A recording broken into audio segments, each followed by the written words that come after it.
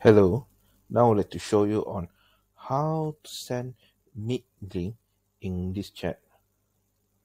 So once you open chat here, click on this icon to add video meeting. You can type in a message as well.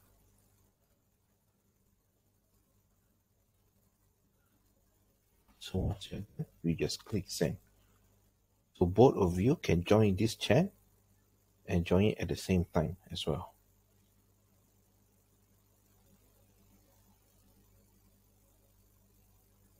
Is the end of the video.